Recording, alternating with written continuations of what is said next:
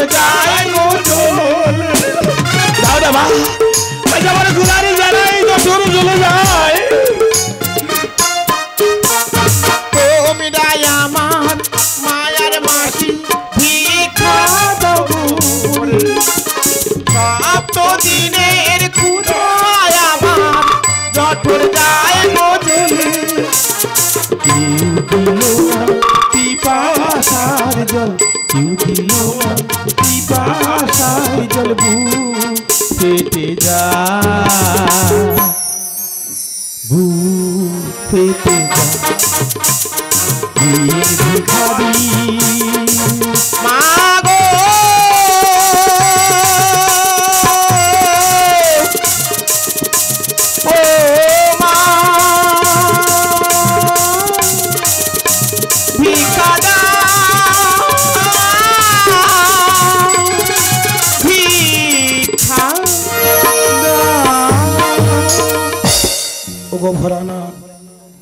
আজ তোমারই কথা মতো ভিক্ষা করেছে। কিন্তু আমি তো ক্ষুধার জ্বালা নিবারণ করতে কিছুতেই পারব না আগে। ভিক্ষার পাত্রটি রাস্তার মধ্যে রেখে প্রথমেই তোমার ভক্তের প্রণাম জানিয়ে তারপরেই আমি কিছু কিনে ক্ষুধার জ্বালা নিবারণ করব ভগবান।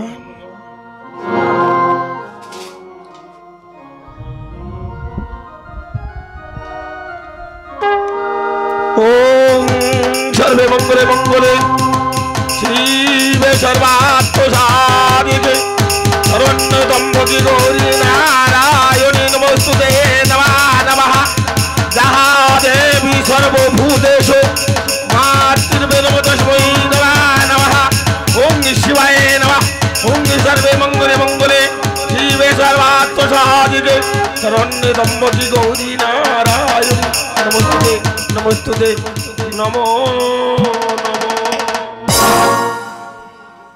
দুর্গণ এই মুহূর্তে আয় আমরা মায়ের কথা মতো ওই রাজার ভিক্ষার টন্ডুল হরণ করে নিয়ে যাই।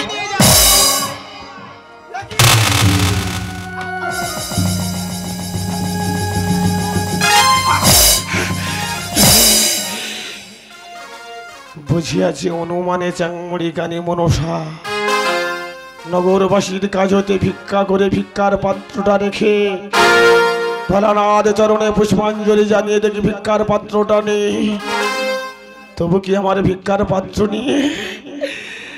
আমার অন্ত পুষ্পাঞ্জলি জীবনে ভাবি না। সত্যি করে যদি ভোলানা আজ আমি তোমারই ভক্ত হয়ে থাকি। শুধু একবার বলে দাও না, কোন পথে গেলে, কোথায় গেলে আমার বড় তুমি একবার বলে দাও। চন্দ্রধর ওই তাকিয়ে দেখো সমকে একটি রাস্তা। ওই রাস্তায় ফিরে গেলে ফিরে পাবে তোমার সাধের কদলি বাগান। ওই সাধের কদলি বাগানে রাত কাটিয়ে ফিরে যাবে প্রভাতে। তোমার রানী সরকার ভবনে।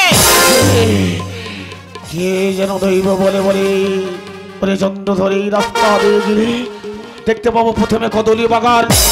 তারপরে কদলি বাগানে রাত কাটিয়ে রানী সনকার সঙ্গে দেখা করব। তাই বিলম্ব না করে চলে গেলাম। সাধে সাধের কদলি বাগানে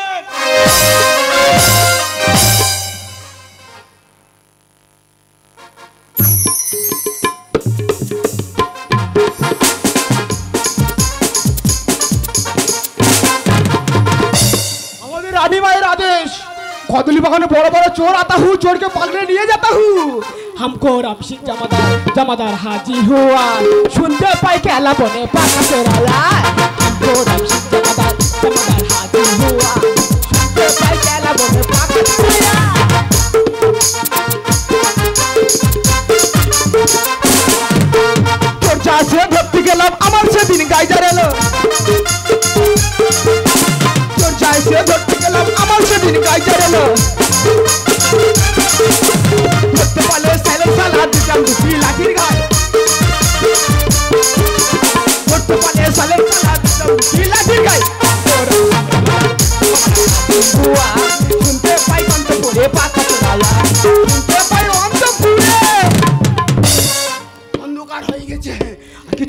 হচ্ছে না।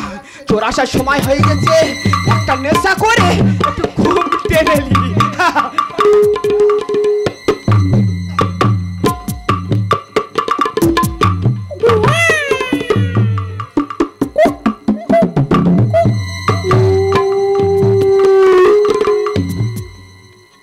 দেখতে পাই আমার সাধের কদলি বাগান।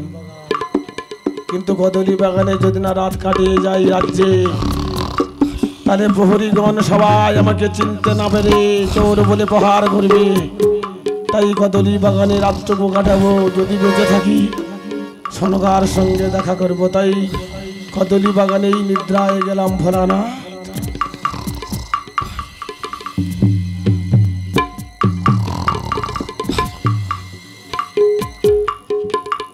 কেলা গাছ গার উপর পড়তে লম্বা লম্বা কেলা কেলা গাছের আঙুল গজাতো হু একটা দুটা তিনটা চারটা পাঁচটা কেলা গাছের আঙুল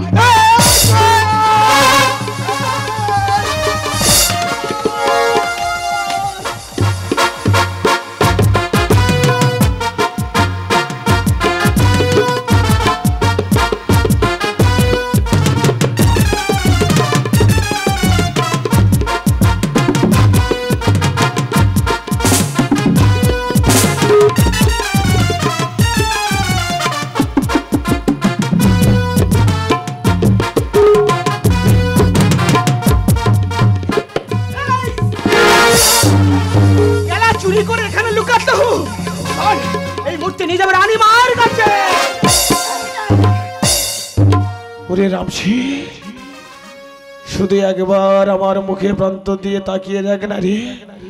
চোর বলে আমাকে প্রহার করছিস আমি কে জানি? আমি তোদের মহারাজা রে রামসি আমাদের মহিলা বাণিজ্য করতেছে বারো বছরের জন্য। ও রানী সনকা একদিন ভুলে গিয়েছিলাম। বারোটি বছরের জন্য রাজত্বের ভার তোমার হাতে তুলে দিয়ে যাই। আর আমার সব রাজপ্রাসাদে পাহারা দেবে রামসি তাই সনকা তুমি কোথায়? তুমি একবার এসে দেখে যাও। রামজি কেমন করে বার করে সনকা আরে কোথায় আছো? ও সনকা বিপদে কালে দাও না।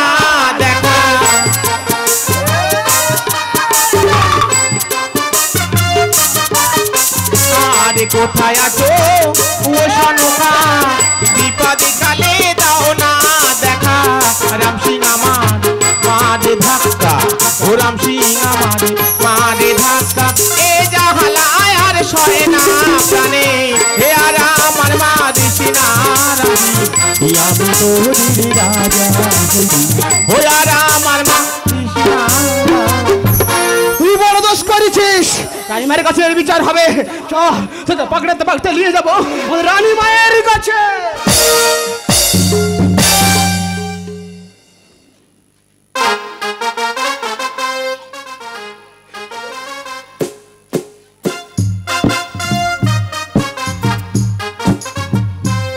তাই তো রামসিং গেলা করিল না। তবে কিছু ধরতে পারিনি।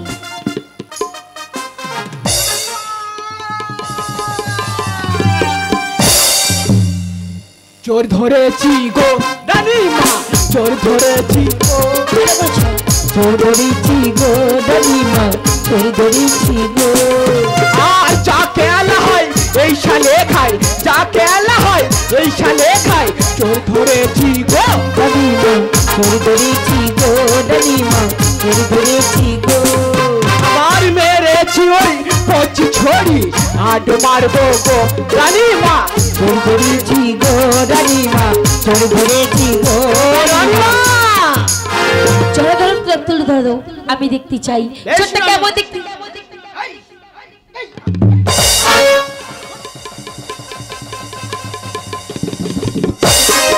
ওরে রামসি অমন করে আর আমাকে প্রহার করিস না। আমার মনে হয় আমার মন জানতে পেরেছে। আমি আর কিছু তো বাজবো না রামসি কোথায় নিয়ে যাবি? চল আমাকে নিয়ে যাবি চল চল। কি দেখছি আমি? সম্পূর্ণ মহারাজের মুখ তবে তবে আজকে! এতে কপালে আজকের রাষ্ট্রিকা তবে কি সত্যি কি আমার বাকারা তুমি কাকে ধরেছো বাবা? কেন রানীমা? আমি চোরকে পাগলে নিয়ে না ও চোর নয়। ও যে আমাদের মহারাজ। কি বলছেন রানীমা? মহারাজা আমাকে ক্ষমা করে দিন মহারাজা। আমি না বুঝতে পেরে না চিনতে পেরে তোমাকে অনেক উপহার ওরে বাবা রামসি তুই তো আমার রাজপ্রাসাদে সাধের কদলি বাগানের পাহারাদার। আজ আমাকে চোর ভেবে চিনতে না পেরে প্রহার করে দিয়ে যেতে আমি দুঃখ পাইনি। যা বাবা তুই রাজপ্রাসাদে ফিরে যা। আমার দুঃখের ঘটনা তোকে বলব না কাকে বলব? আমার কি আছে আর যা বাবা। এলে করে দুঃখ করি না এমন দুর্দশা সেখানে দেখলাম আমি। কি বা হয়েছি তোমার? বলো আমার কাছে। বলো মহারাজ চুপ করে থেকো ওগো রানী সনকা আজ আমার এই বেশ কেন? দেখে তুমি অবাক হয়ে গেলে তাই না? আমার দুঃখের কথা তোমাকে না বলতে পেরে যে পথ দিয়ে রাম সিং ধরে এনেছে সেই রাস্তা দিয়ে আমি চলে যাব নাই বলব তোমার কাছে। আজ কোথায় রেখে এলে গো না? সাদরি সপ্ত ডিঙ্গা গো। মাঝি গণ কোথায় আছি? ও মাঝি গণ কোথায় আছি? কোথায় বলো না আমারে গো? এই কথা আমি তোমাকে বলে তোমার মনে দুঃখ দিতে পারব না বলো না মহারাজ একটিবার বলো না। পৃথিবীতে আপন বলতে তুমি ছাড়া আমার কেহ নেই। তোমাকে বলব না কাকে বলব? বাণিজ্য করছিলাম হঠাৎ কালিদয়ে মাঝে। পবন পুত্র হনুমানকে কি করল জানো? সপ্ত ডিঙ্গে তরি অতর তরি করে দিল তুমি তারপরে দাঁড়িয়ে মাঝিগণ নদীর জলেতে তলিয়ে গেল। আমিও জীবনে মারা যেতাম। হঠাৎ দেখি একটি কদলির ভেলা ভেসে আসছে। আর সেই ভেলাটা ধরে আজ আমি কিনারায় পৌঁছে তোমাকে সরকা বলে ডাকতে পেরেছি। যেদিকে তাকাই সেদিকে যে সাগরে শুকিয়ে যায়। যেখানে যাই সবাই চোর বলে প্রহার করে। কতদিন হলো? ক্ষুদার জ্বালা নিবারণ হয়নি সনকা চলো না রাজপ্রাসাদে গিয়ে আগে আমাকে এক মুঠো খেতে দাও। বেশ। তারপরে রাজ সিংহাসনে বসে মনের কথা বলব। চলো গাড়ি রাজপ্রাসাদে গিয়ে আমাকে কিছু খেতে যাবে চলো সরকা মাগো ওমা মা তুমি কোথায় মা? মাগো মা বলে কি ডাকে আজ আমি আজ আমি বড় ক্ষুধার্ত মা লক্ষ্মী। আমায় তুমি খেতে দাও না মা। ও মা তুমি কোথায় মা? মা মা আমি এক্ষুনি আসছি মা। ও মা আমায় তোমায় দেখলে না মা? শুধু একটি কথা বারে বারে বলতে ইচ্ছা হয় মা। হ্যাঁ গো মা কি বলতে ইচ্ছা হয় জানো মা? কি বাবা? যতবার দেখি মাগু তোমায় আমি? সাদে মেখে না মাগো তোমায় দেখে। সবাই বলে ভগবান সুন্দর। হবে না তো সুন্দর তোমার চেয়ে। খোকারি? যতবার দেখি মাগো তোমায় আমি খোকা সাথে মেতে না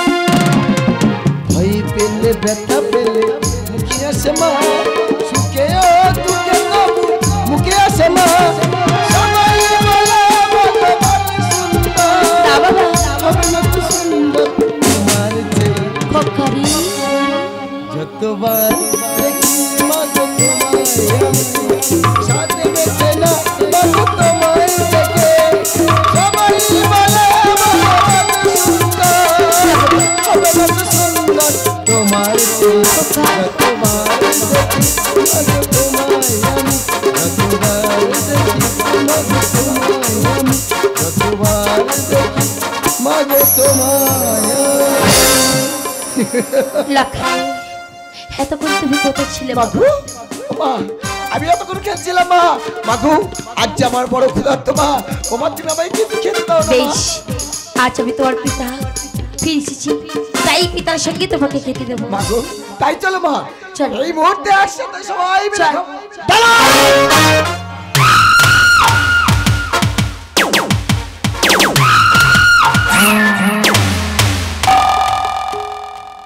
ওগো আমার রানী সনকা। বলো। ক্ষুধারে জ্বালা নিবারণ করতে যাওয়ার আগে তোমার মুখ থেকে একটি কথা জেনে নেব সত্য কথা বলবে? আমি জানি তুমি আমার রাজ্যের রানী জীবনে কোনোদিন মিথ্যা বলনি। আজও বলবে না। আচ্ছা বলো তো প্রথমে এই ছেলেটি মা মা বলে ডাকছিল। তারপরে রাজপ্রাসাদে এসে তোমাকে মা বলে জড়িয়ে ধরলো। যে মা বলে জড়িয়ে ধরলো সত্য কথা বলবে শোনকা ওই পুত্র কি জানো? হ্যাঁ আমি কেমন করে জানব হ্যাঁ? ওই পুত্র আমাদের সন্তান।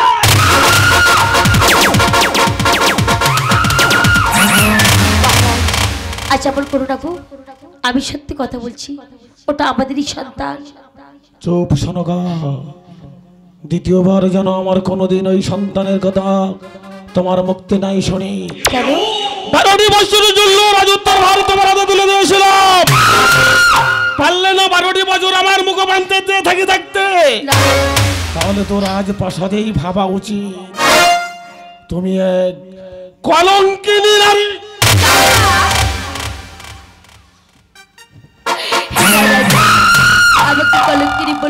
দ্বিতীয়বার বলতে হয় তুমি চরিত্রহীন নারী! মহারাজ আজ তোমার মুখে যা আসছে আমাকে বলো না। আমি দুচ্ছারি নই আমি কলঙ্কিনী নই আমি তোমার সাথে রানী সরকা বিশ্বাস করো তুমি বিশ্বাস আর কাকে করব? বিশ্বাস করো তো এত বড় ক্ষতি করলে। এই জন্য লোকে কথায় কি বলে জানো শোনগা কি বলি? তোমরা হলে নারী জাতি কিছুটা সুগন্ধের মতো। তোমাদের এই গন্ধ আছে এই গন্ধ নেই। সত্য যদি তোমাদের গন্ধ থাকতো পরপুরুষের সঙ্গ নিয়ে এই সন্তানকে আমার সন্তান বলতে তোমারই বিবেকের বসল কত আজ এইভাবে বারে বারে দোষ দুষ্রূপ করো না। ওগো আমি বিশ্বাস করো তুমি আমার। আমি পাপি নই আমি সেটাই বিশ্বাস করে। শহরে নিয়ে তোমার বেঁচে থাকা। হে তোমার শহরে ও দূরে দেখা যায় শিলা তোমার আর তোমার পুত্রকে আমি? শিলার গায় বাবা ছাড়ে মেরে দেব। ওনাতে পায়ে বিনয় করি।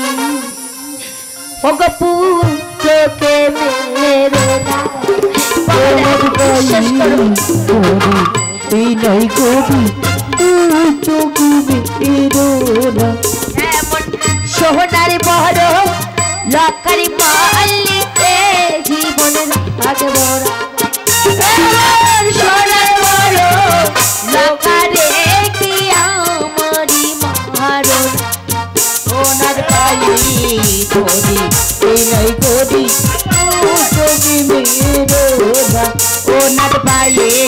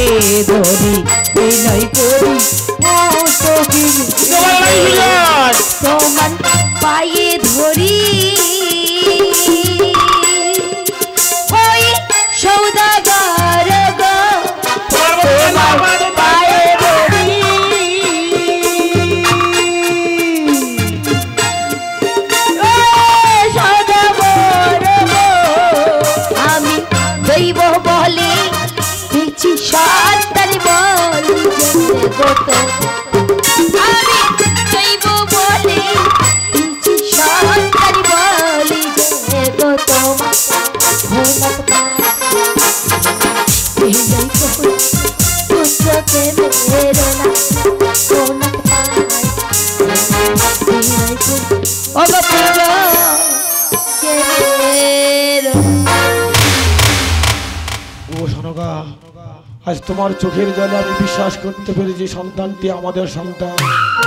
এই সন্তানের নিয়ে তোমার যেমন বেঁচে থাকা, আমারও বেঁচে থাকা। তাই এখন সন্তানকে নিয়ে কি করবে যেন শোনগা আজ আমি আমার যে মনে বড় আনন্দ, অদূরে দেখা যায়, আমাদের ওই তরবারি। তোমার আর তোমার পুত্রকে টুকরো টুকরো করে নদীর জলে ভাসিয়ে দেওয়া।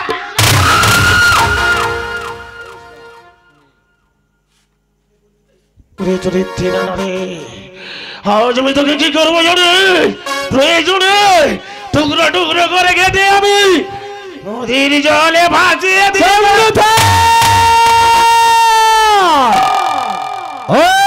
চন্দ্রধর সনকা কুলটা নয় সনকা সতী দৈব বলা হয়েছে পুত্র দুর্লভ লক্ষিন্দর। ওকে পুত্র বলে কোলে তুলে নে। ওগো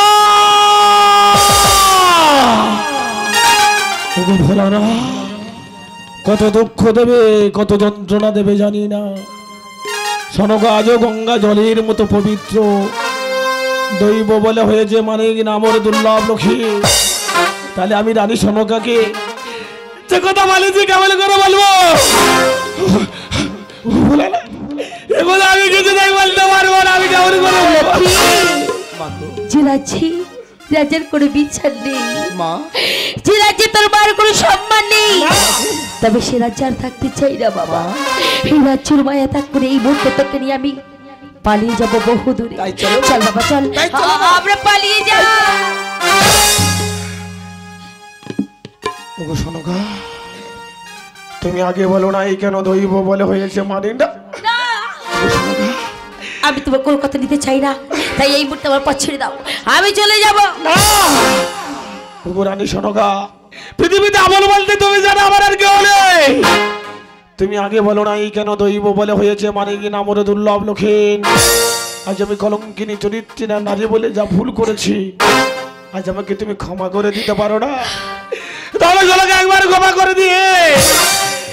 ভালো চলোকে ভালো ভগবান আচ্ছা জানো মহারাজ জানো আজ আমি তোমাকে ক্ষমা করে দিয়েছি। ওগো তোমাকে ছেড়ে কি আমি যেতে পারি? আমি কোথায় যাব না? আমি কোনো জায়গায় যাব না। তুমি কোথায় যাবে? তুমি আমার জীবনে মরণে রসায়নবাদী তুমি কোথায় যাবে সরুকা তোমার নিয়ে তো আমার পৃথিবীর মাঝে বেঁচে থাকা। কিন্তু লক্ষিন্দর নাম ডেকেছো এতদিন মা বলে তোমাকে ডেকেছে তাই না সরকা তাই লক্ষিন্দরকে একবার বুঝিয়ে শুধু একবার। একবার আমার পিতা বলে ডাকতে বলো না। কিছু করে অপেক্ষা করো? আমার লক্ষ্মীকে আমি বলছি? লাখাই। মা গো। সোনার বলের লক্ষ্মী নামা যেমন শুনে তুমি আমাকে মাথা মাথা বলে ডাকো। যেমন করে আমার কোলে তুমি জড়িয়ে আসো। তেমন করে একটিবার তোমার পিতার কোলে গিয়ে পিতাকে জড়িয়ে ধরে পিতা পিতা বলে ডাকো। না। এ কি বলছো মা? না মা না।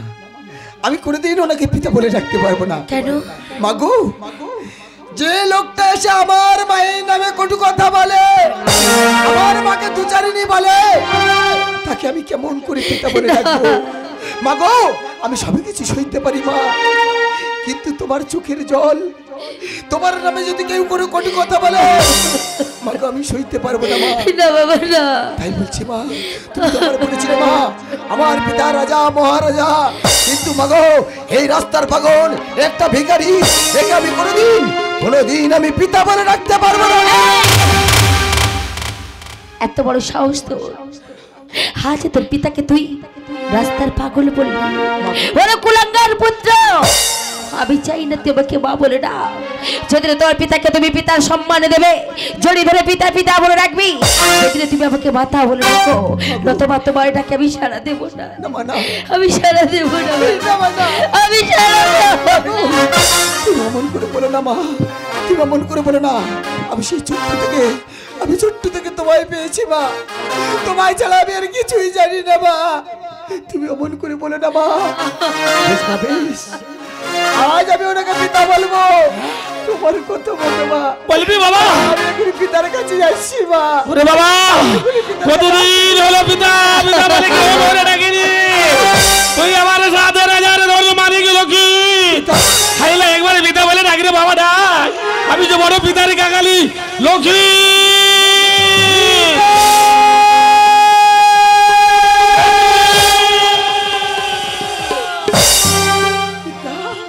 রে বাবা তুই যে আমার সাথে রাজার ধন ব্যাগ মানে তাই আজ থেকে বলব তুই আমার একটি পুত্র নয় রে রাজপ্রসাদে বলব এক মানিক শতপুত্রের সমান লক্ষিন্দর। আজ পিতাকে দেখে তোমার কি কি? মনে কোনো বাসনা জাগে না বাবা বলল বাবা। ও পিতা আজ আমি বড়, আজ আমি বড় খুশি।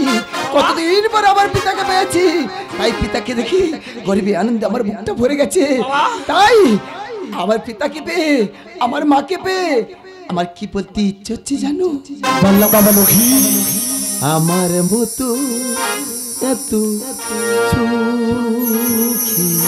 রে বাবা বাবা নই কারও জীবন পিতাগু কেহু আদর ভালোবাসায় ভোলা। জড়ালু, মায়ার বাঁধন। হ্যাঁ পিতা। পিতা গো, আমার মতো এত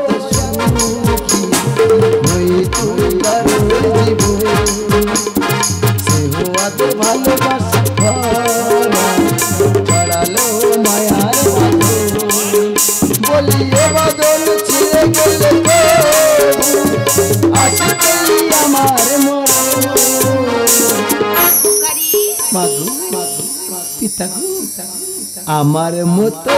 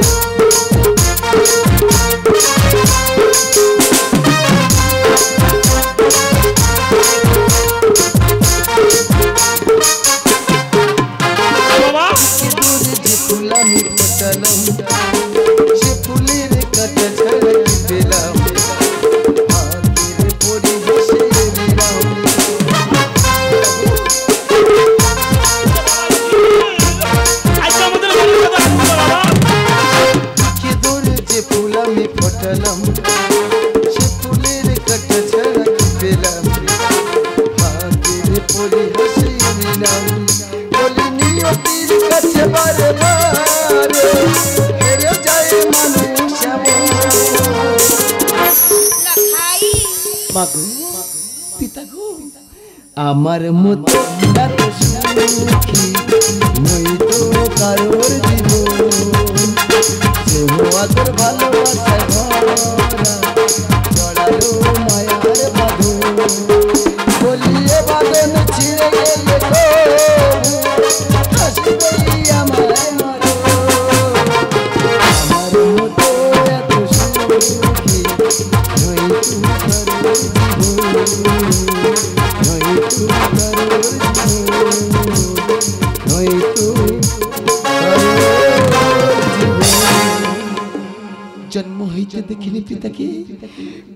মায়ের ভালোবাসা।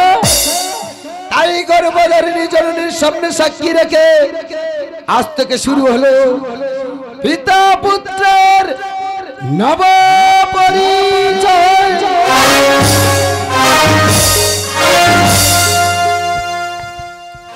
নমস্কার। নিউ অগ্রগামীর যাত্রাপালা। এখানে সমাপ্তি।